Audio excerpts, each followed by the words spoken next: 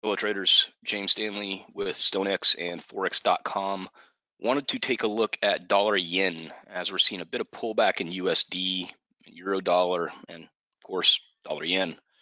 But that's the pair I've been most focused on lately and wanted to go over a few items first. But we need to go over a risk disclaimer. It's going to last about 15 seconds. I ask that you read it. I'll also have this on the back end for 30 seconds, as well as in the description field of this video. So please do read that. I'll be on the other side. We'll start looking at some charts.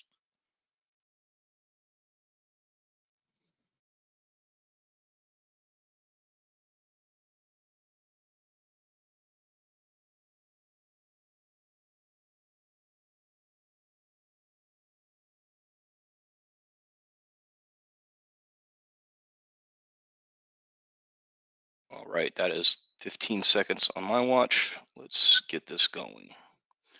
So, like I said, we're seeing a bit of pullback in USD today, and that's also showing in dollar yen. And I had looked at this in the webinar yesterday. I had done a video on this last week, and today's setup is still pretty much in relation to both of those. I've been pretty vocal about the fact that I think that we are still seeing an element of carry unwind. And bigger picture, I still think there's a lot of room to go as we're still very near the 23.6% retracement of the move that built around the carry trade. But these moves don't price in linearly. And when we had that massive sell off in dollar yen, I mean, we were likely seeing a lot of shorts open up.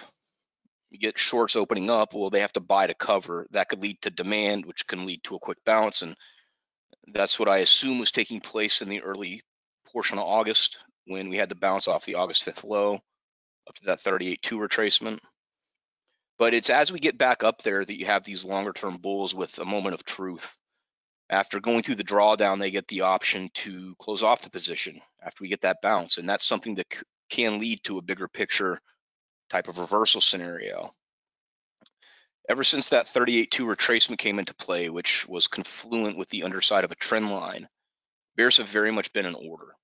And when I looked at this last week, we were on the verge of the rebreak at 145. But like I had said then, I was cautious. I didn't want to chase this. I instead wanted to wait for a pullback. The top of the resistance zone I was following is right here. It's the 23.6 retracement of that same pullback move. And you'll notice that had two holds of resistance before sellers went in for another lower low. The complication at this point is sellers have not been able to stretch. We had that next 145 resistance test, and that's since led into a higher low. And so I have some shorter term levels I wanted to look at. And if we look at this purely from a daily chart, you'll notice that we have an element of stall over the past few days. I think this could be a possible trap on the short side and instead I'd want to look a little bit deeper for resistance. And I have a couple of spots here, essentially just drawn off a prior price action. One at 145.42. The same 146.47 level is of interest. But there's also that zone that I'd looked at last week, which I don't have on the chart anymore, but that extends down to 146.08. And so I could get a bit of additional reference inside of that 146.47 price. 146.08 comes from that.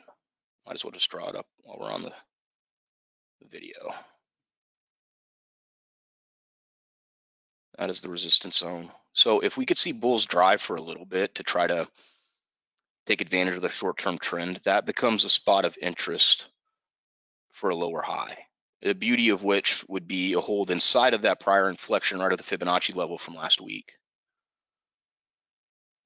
145.42. If we see sellers show up here, hold the high, I would consider that a much more aggressive approach from from bears, and that to me would keep downside scenarios even more attractive. But it's put in a very consistent move, a very consistent sell off.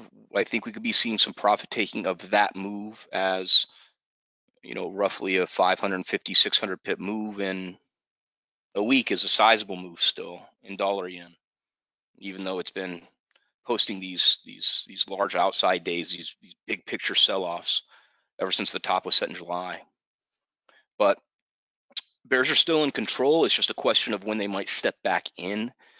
If we do see that 146, 47 price taken out, that's where I want to take a step back and wait because it appears as though something else might be going on. And at that point, I'm going to look for resistance to show in this zone between the 38.2 retracement at 149.43 up to the 150 psychological level. And then that same 150, 195 level is not something I want to forget about yet. That was the high in 2022, the high in 2023. It was the low in early May. We had a quick dash of support before the breakdown really started to hit in July. But you'll notice to date, that level hasn't yet been tested as resistance, which I would consider somewhat of a rarity for such a contentious level to not have even showed as resistance on the other side. But I mean, you could see that sellers were actively pushing this thing through when we had that breakdown. I think the allure of something like that, a 150, 195 test, is if we do see bulls break back above 150, you're going to start seeing headlines say, oh, well, the carry trade is back. And that's something I would take issue with because fundamentally, that's not true. we we're pretty sure that the Fed is going to be cutting rates next month.